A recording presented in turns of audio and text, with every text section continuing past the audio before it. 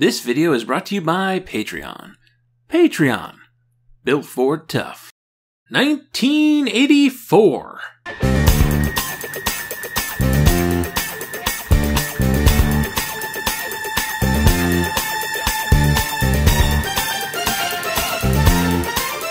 Ronald Reagan defeats Walter Mondale for a second term as president. Los Angeles hosts the Summer Olympics, and a man shoots up a McDonald's in San Diego in America's deadliest mass shooting. For a few years, anyway. The first TED conference is held, the discovery of the AIDS virus is officially announced by American scientists, and Apple Computers releases the Macintosh, introduced by one of the most famous Super Bowl commercials of all time, directed by Ridley Scott. Another famous commercial, the Wendy's Where's the Beef Lady? While the American video game market was crashing, Alexei Pajitnov releases Tetris in Soviet Russia. In theaters, Ghostbusters, Gremlins, and The Karate Kid. In music, Bruce Springsteen's Born in the USA, Prince's Purple Rain, and the premiere of the Red Hot Chili Peppers. And we see the births of Katy Perry, Avril Lavigne, and Mark Zuckerberg. On television, toy driven animation continues to expand with shows like The Transformers, My Little Pony, and Snorks. Alex Trebek makes his debut as the host of Jeopardy, and Happy Days aired their last episode. On cable television, Lifetime and American Movie Classics premiered, ABC purchased a majority stake in ESPN, and in October, the Turner Broadcasting System premiered the Cable Music Channel, or CMC, the first direct competitor to Warner Amex's MTV. Well, it's very exciting uh, to, to start another, another network, uh, our fourth. And I, I know you know what uh, we're going to do. We're going to play a, a wider range of music. We're going to stay away from uh, the excessively violent or degrading uh, clips towards, towards women that MTV has, has been so, so fond of so fond of running. So hold on a few seconds. Okay, push it. All right, here we go. Take that, MTV.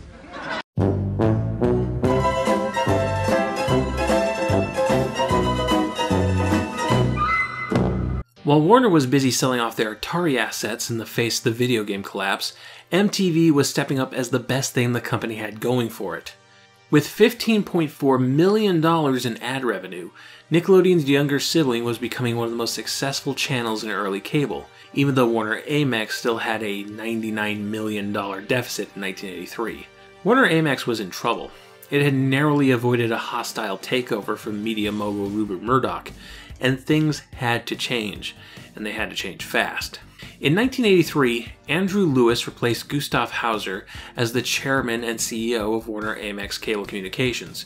He had formerly been President Reagan's Secretary of Transportation and had presided over the firing of striking air traffic controllers in 1981, so, you know, nice guy. The QUBE Cable program, where Pinwheel and a lot of Nickelodeon's early programming had been developed, closed down in January of 1984. Then, in February, MTV Networks was incorporated and made into a public offering. What that means in very oversimplified terms is that Warner Amex separated MTV into its own company, separated it from the larger Warner Amex cable operations, and then listed MTV Networks on the stock exchange with 5 million shares in common stocks. This allowed for two things. One, it made a much more appealing investment for shareholders. Warner Amex had a weak reputation. MTV had a great reputation and was destroying the competition in five weeks' time. Two, it gave Warner Amex the option to sell MTV networks without destroying their entire cable network. So if Warner needed to pay back all that money they borrowed from American Express, they could sell MTV networks to, oh, let's make up a company, Viacom or something. Oh, and I should point out that MTV networks included a few other channels besides MTV, one of which was Nickelodeon. More leadership changes happened. Jack Schneider, no relation to Cy, was fired from the position of president of the Warner Amex Satellites Entertainment Company and was replaced by Warner executive David Horowitz, while Robert Pittman, one of the creators of MTV, was made president of MTV Networks. And while these changes would prove necessary for the continued existence of both MTV and Nickelodeon, there was one man who wasn't pleased with it our old friend Cy Schneider. Everybody, please take off your hats out of respect because we finally reached the end of the Schneider era. Bob Pittman was made head of the company, and it was clear that Cy, who was at least 20 years his senior, was uncomfortable with this crazy, idiotic approach to home based television. Bob Pittman was too new blood for Cy Schneider's tastes, and Jack Schneider had been a friend who had gotten Cy the job at Nickelodeon in the first place. Nickelodeon had not found the success it needed during his tenure, and allowances were drying up fast. When Warner Amex was riding high on Atari and MTV's early success, Nickelodeon being a lost leader was acceptable, and Schneider could keep doing his thing. But now, with the video game crash and the MTV network, the pressure was on, and Schneider was finding less joy from the experience. I don't know the exact date Cy Schneider left Nickelodeon, but I do know that in May of 1984, advertising agency Bozell and Jacobs announced Cy Schneider as the new chairman of their Western United States operation, and he began working there in September 1st of that year. Cyril M. Schneider would continue to work with Bozell and Jacobs until his death from cancer on February 22, 1994, at the age of 64. In a way, I feel sorry for Schneider and his legacy with Nickelodeon. His era, known mockingly, if not inaccurately, as the green vegetable period, had a lot of the ingredients that would make Nickelodeon successful. He was the one who signed off on You Can't Do That on Television, after all. He managed to bring in a lot of quality programs, even if they didn't make the channel popular. The major problem Schneider had in terms of program selection and selling the channel was that he was too backwards looking implementing older models of television when, being the first all children's program channel for a still new medium of cable, he probably should have been a bit more cutting edge. Also, as we'll explore in a little bit, he wasn't the best people person. So Schneider was out before the year was half up, and a position needed to be filled. Geraldine Laybourne had been Nickelodeon's programming manager since 1980, coming in about the same time Schneider did. Her background hadn't been in entertainment, but education. Before Nickelodeon, Laybourne had been a private school teacher, then started a non-profit called the Media Center for Children, whose goal was to work with teachers in developing media-based curriculum. In 1978, Gerry Laybourne teamed up with her husband, Kit Laybourne, and animator Eli Noyes to form the production company Early Bird Specials, whose goal was to get independent filmmakers on television. So our first project was with Nickelodeon, and it was we did two pilots for Nickelodeon in 1979, and um, they were very esoteric and very way out there. I. I still don't think the world was ready for them. Nickelodeon didn't buy her shows, but instead offered Gerry Laybourne the program manager position, a role that would primarily have her finding potential acquisitions for the channel and pitching them to Schneider. While Schneider had the final decision, it's fair to say that some of the most iconic shows of this era, like You Can't Do That on Television and Today's Special, probably would never have passed his desk without Laybourne. Laybourne quickly became frustrated with what she felt was a lack of ambition and mismanagement of the channel. The goals for Nick were so low. The expressed view was that all we should worry about was being on time and on budget. There was no notion that we should be trying to figure out how to relate to kids, or delivering something to them that they couldn't get anywhere else. There was no recognition that we might be able to turn the network into something terrific if we worked hard enough and were creative about it. With Schneider leaving his post before the summer of 1984, someone needed to fill in the role of head of the network. The transition between Schneider and Laybourne wasn't immediate. Warner Amex wanted to shop around for a little bit, but in the meantime, Bob Pittman gave Laybourne a temporary promotion, putting her in charge of the first network for kids. One of the first things Laybourne did was to get everyone who worked for the company into one room. Schneider had run things in a hierarchical system, where departments reported directly to him but had very little communication with each other. There were no group meetings, so nobody knew what everyone else was doing. The whole hierarchical system is built upon the belief that if one person is up, another person has to be down. I would have meetings with Cy Schneider, but what they were really about was him showing how much smarter he was than me. I would always leave those meetings deflated. I could feel my effectiveness and motivation drain out of me as a result. So I figured that if I felt that way, the impact on people who are not as confident must be devastating. What you really had then was the boss creating this environment in which people had low motivation. Plus, they were so afraid of making mistakes or looking foolish that they were too inhibited to be creative. So, Gerry Laybourne's first order of business as the person in charge get everybody in the same room together and talk about the future of the channel. The first thing that was really great that we did was I actually took everybody who was currently at Nickelodeon at the time, 20 people, and I just took them off site for a day and said, okay, we've been here for three and a half years. We've seen what we've done. We know what's right. We know what's wrong. Let's just get it up on the board. Let's analyze this. Let's figure out what do we want it to be. And in the course of that period of time, which was a very intense summer, we actually ended up um, shaping what Nickelodeon was going to become. It was a very, very profound summer. And some of the people who were there didn't want to get on board and couldn't get on board and couldn't couldn't um, be flexible with us, and they ended up leaving. So we had we were down to 15. So the Nickelodeon crew was trimmed down to the bone, but everybody was now on the same page, and a game plan for Nick's future was developing. So a few of the people on Team Laybourne. Debbie Beece, the 28 year old Senior Vice President of Programming.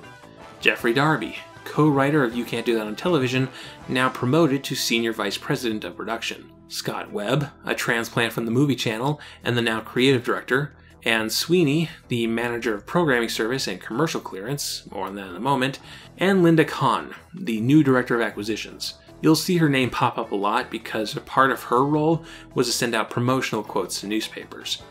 Another change Nickelodeon made that year was the introduction of advertising. The channel would no longer be a commercial free zone. Some people, naturally, didn't like this. The Peggy Charrens of the world worried that the channel, being influenced by advertisers, would bring the content of the channel towards the sugary sweet Saturday morning cartoon fare, and a few kids were disappointed in the decrease of shorts airing between programs. But Gerry Laybourne was very careful about what products were allowed to advertise on the channel. More violent toys like laser tag were passed on, even if they would have brought a great amount of income to the channel. Along with commercials, a new visual brand for the channel was put into development. But this video is running long enough, so I'm going to save the story of the Nickelodeon splat for another episode. Suffice it to say, 1984 was a year of great change for Nickelodeon. Three shows entered their run this year The Tomorrow People, Dusty's Treehouse, and finally, what will they think of next? And eight new shows were added two original programs and six acquired programs, including, I'm so happy to announce, multiple animated programs. Yes, 1984 was the year cartoons arrived to Nickelodeon. Now, for some of these shows, it's not easy to tell what was a Gerry Laybourne acquisition and what was a leftover Cy Schneider acquisition. Even if they premiered after Schneider left the channel, they could still have been from contracts Schneider wrote up prior to his departure. Consider the subject of today's episode of Nick Knacks Powerhouse. Every weekend on the Kids Only Weekend, Powerhouse. They solve crime. They stop trouble. They're the kids from Powerhouse. And they're on every weekend at 7 a.m. 6 Central on Nickelodeon. Powerhouse premiered on Nickelodeon in October of 1984, months into Laybourne's tenure, but it has all the signifiers of a standard Schneider era show. It was a former PBS program, one that touched on heavier multicultural subjects like Vegetable Soup did. At just 16 episodes, it didn't have enough material to rerun constantly, but rerun it they did. And you might be able to make the case of this show emulating previous television successes, as Powerhouse is basically Hill Street Blues for kids. Running on one 16 episode season, Powerhouse was produced by the Educational Film Center, a production company based out of Northern Virginia. Filmed in Washington, D.C., this is the story of Brenda, a young woman who recently inherited a former boxing gym from her father. She looks to turn it into the Powerhouse Community Center, but the building is being used by a small gang of drug pushers who want her gone. As Brenda cleans up the powerhouse, she draws the attention and support of some of the kids in the community. There's Kevin, the athlete with a heart of gold, Jennifer, who's interested in community projects and owns a VW bus, Lolo, the socially awkward boy genius, and Pepper, a little weirdo who likes to spy on people. Not willing to give up their turf, the pushers send in one of their own, a guy named Tony, to pretend to be friends with the Powerhouse kids, get someone on the inside who can sabotage them later. However, the longer Tony hangs out with the Powerhouse kids, the more he comes to like them, and soon enough he switched sides, though perhaps a little too late. Well, we received some information. Uh, there's a possibility of drugs on the premises. That's ridiculous. Do you have a wallet? Yes, Councilwoman, I'm afraid I do.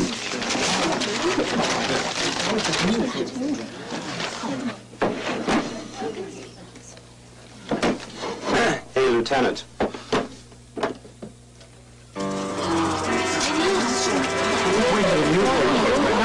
I'm awful sorry, Miss Gainsborough. I'm afraid I don't have much choice. I'm going to have to take you downtown. With Brenda arrested on drug charges, the Powerhouse kids take it upon themselves to track down the leader of this little gang, someone even Tony hasn't seen, as they opt to communicate over the phone with a disguised voice. Pastor? Go ahead. Yeah, uh, we may have a problem at the old gym. Some broad's trying to move in. Do something about it. You want me to lean on her or what? I don't care what you do, just get rid of her. Through sneaking, disguises, and stealing drug money, the Powerhouse kids discover that it's actually a city councilwoman with a personal vendetta against Brenda who's running the operation. After kidnappings and chases, the kids expose the councilwoman, clear Brenda's name, and the Powerhouse can open in earnest. And if you're thinking, wow, that's an exceptionally action heavy pilot for a PBS show, Powerhouse is an exceptionally action heavy PBS show, full stop. What's hilarious is that PBS still had to sell this program as part of their educational children's television line, which included the usual practice of sending packages to educators should they want to utilize the show in the classroom. I happen to have those documents on hand, and the contrast between what it says the show is about and what the show is actually about is amazing. For example, here's what it says about the show's third episode, Life or Breath. The Powerhouse program, Life or Breath, shows young people dealing with the physical symptoms of stress. It demonstrates some relaxation techniques that can help the young people in your group and you ease tension. And yes, the episode has a kid, played here by a very young Phill Lewis of the Suite Life of Zack and Cody fame, who has a stomach problem due to stress, and Brenda does teach him some basic exercises to help manage it. Learning how to relax through exercises and breathing won't erase the causes of your problems, but it can help to keep stress from giving you headaches, shortness of breath, and other problems. One, two, three. But that's not what the episode is about. The episode is about the son of an ambassador from an African country being kidnapped by terrorists and the powerhouse gang having to track him down and save him. You idiot! You should have tied him! Now he must be killed. This changes all of our plans. The here's how to breathe to calm your nerves stuff just gets lost in this action heavy political thriller. Every episode of Powerhouse is like this. You've got these five kids going above their pay grade, taking on life or death situations, and then some kind of moral to satisfy PBS's educational requirements. Here's an episode where a bank robber sets up a fake gym so that he can kidnap and possibly murder by sauna the owner of a diner that sits next to the bank in this strip mall, so the bank robber can tunnel through the wall of the diner into the bank vault. But also, this is about loving the body you have and not giving in to get fit quick schemes. We've got diamond thieves. We've got people fixing horse races. We've got a woman who catches a lethal plague from the jungle and is now spreading it around the city. Sure, practice makes perfect is a nice lesson for the kids, but maybe we shouldn't be teaching practice makes perfect in an episode where the Powerhouse Gang is practicing for a museum heist. Look, we can make minor adjustments to Lolo's time schedule, but we have all got to pull together. This plan can work. As long as nobody recognizes us.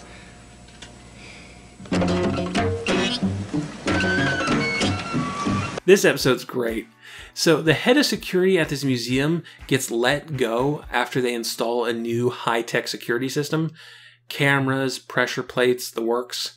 So, this woman hires the powerhouse kids to help her break into the museum and steal a statue to show the museum how much they need her over this crummy security system. It's this fun heist episode and also super illegal. Hey kids, it's okay to steal so long as you do it for the right reasons and have adult supervision.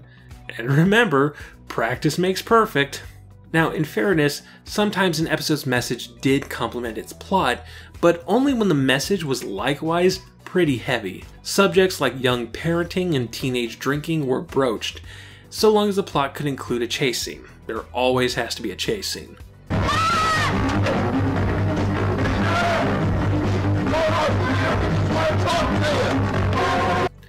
Now, I don't think this stuff is too intense for young viewers. You can find similar amounts of action and serious content in your average Hardy Boys or Nancy Drew book. No, it, it's fine for kids, but it does seem uncharacteristic for a PBS children's show. Not entirely. The inner city setting was a go to for PBS shows like Sesame Street and The Electric Company, as that was also largely the demographic for these shows. But the gritty, high grain filmmaking, the amount of professional crime on display, the action and violence drowning out the morals, this doesn't feel like a PBS show. It feels like it should be on afternoon network television between episodes of Kojak and Quincy M.E. To help balance things out, each episode also had six little short pieces, or uncommercials as they were officially called, that played at the beginning, middle, and end of each episode. The nature of these uncommercials varied from kid on the street questionnaires to little skits about safety and animated segments about parts of the body and how they keep them healthy. It's Celebrity Organ. Will our mystery guest please sign in? Welcome, Heart. Please tell us what you do. You beat a hundred thousand times a day. Oh, you're really a muscle. You pump blood to bring oxygen to body cells. Remarkable. Uh, can you tell our viewers how to build strong hearts? Exercise, you say. Running, swimming, biking, walking. Rescuing people. Anything active, I see. What further advice do you have? Don't hurt your heart. Well, how does that happen? Too much sugar and animal fat is bad for the heart. Smoking, very bad, uh-huh. Can cause permanent heart damage. Thank you, Heart. Now, could you give our viewers a little hint as to whose heart you actually are? Take care of your heart. A great way to be a powerhouse.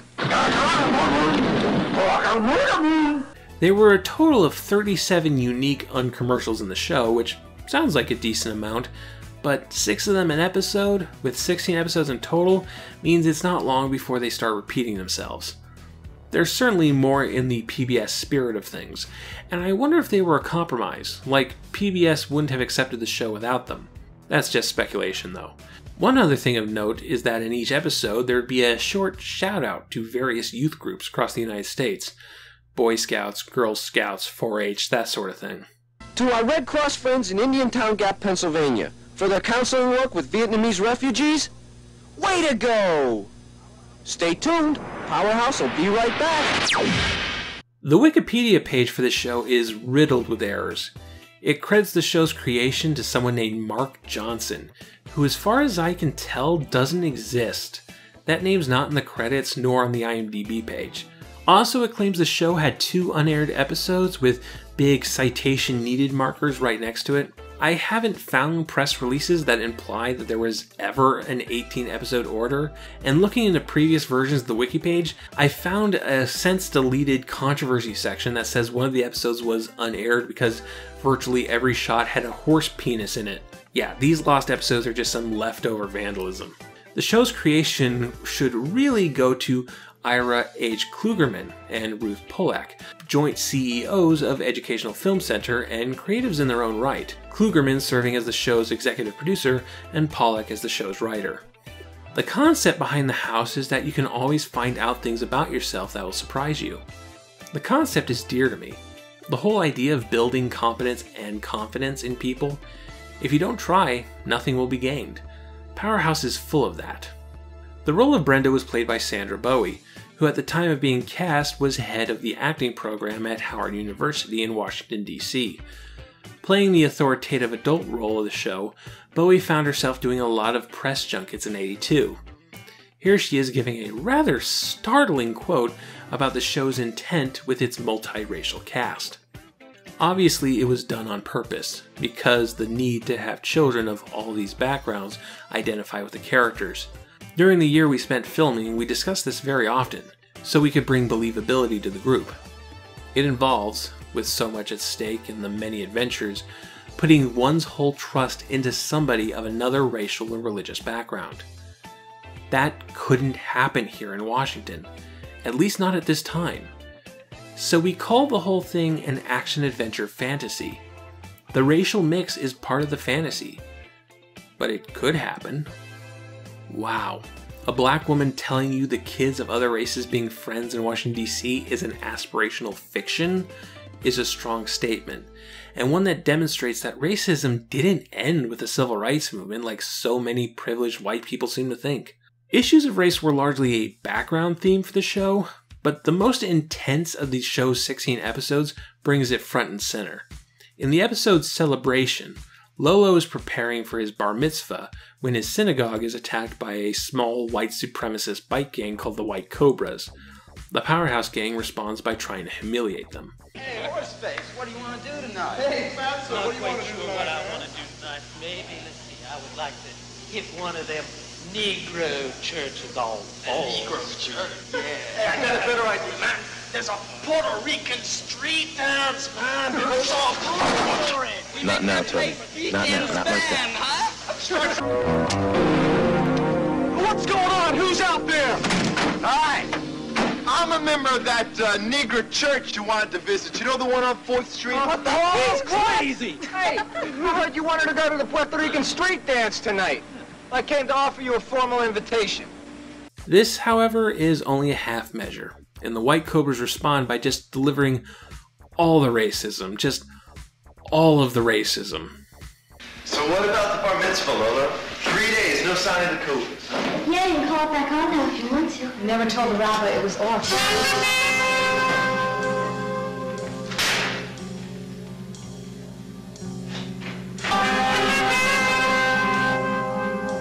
Those guys are a disease.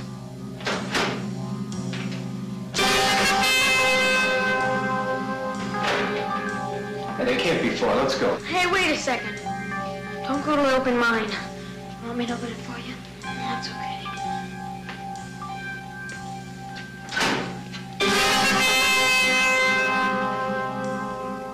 It's as startling and as intense of an episode of television today as it would have been in the early 80s.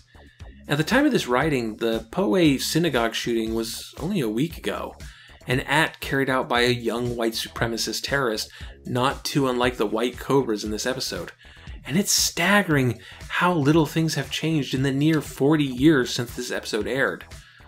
Writer Ruth Pollock made sure to get the input of people with experiences unlike hers in order to make this realistic. We planned a show on prejudice that was very difficult to write. When we thought we had it to a point where it made sense, we invited the cast to talk about it. They got very involved and had extremely strong feelings. As a result, I rewrote about 40% of the script. While Powerhouse covers a wider range of topics than Vegetable Soup, they do share an attitude, a directness, and an intensity that feels largely absent from today's television. What's an odd fit for the public broadcasting service is a pretty dang good fit for Nickelodeon. As Cy Schneider's PBS You Paid For It era began to fade away into something new, Powerhouse's adventure heavy plots became a good candidate to survive the transition. Both educational and exciting. Best of both worlds. Powerhouse covers a broad range of topics, including friendship, illness, prejudice, and competition. Each exciting adventure will challenge and entertain Nickelodeon viewers, as well as provide them with valuable information about mental and physical health. The format of a diverse group of kids having adventures while being watched over by one adult would echo in some Nickelodeon's original projects, like Hey Dude and Salute Your Shorts, though obviously those shows are a lot less intense. Sadly, no home video release of Powerhouse exists, but as of this writing, you can find it all on YouTube, though you have probably noticed that they don't have the best sound quality. Powerhouse is a wonderfully fascinating show, one that tugs itself in a lot of directions, and while it maybe doesn't pull everything off, what it does manage is admirable. And for that, I think it's the best way to kick off Nickelodeon 1984. One foot in the safe and educational, one foot into the exciting, experimental, and adventurous. 1984. What a year. Nick, Nick, Nick, Nick, Nick, Nick, Nick. Nickelodeon. Nick, Nick, Nick, Nick, Nick, Nick, Nick. Nickelodeon. Next time, a breakfast cereal hires the friendliest man in tennis to teach us how to play games. Today's research shout out goes to The Web of Inclusion Architecture for Building Great Organizations by Sally Helgesen. This book includes an entire chapter on Gerry Laybourne and is probably the most detailed and extensive account on the transition of power between her and Cy Schneider. I'll no doubt be referring to it multiple times in the future. Thank you all for watching, and welcome to Nick Knacks 1984, a very exciting time as this is when Nickelodeon introduced animation to its lineup. If you'd like to support Nick Knacks, perhaps consider contributing to my Patreon. Every dollar is a step towards better research materials, higher production values, and making sure I keep the bills paid. You can also support the channel by liking this video, leaving a comment, subscribing to the channel, hitting that bell icon for notifications, following me on Twitter for updates, sending a one time donation through Ko-Fi, and sharing Nick Knacks with all your friends. Thank you all for watching.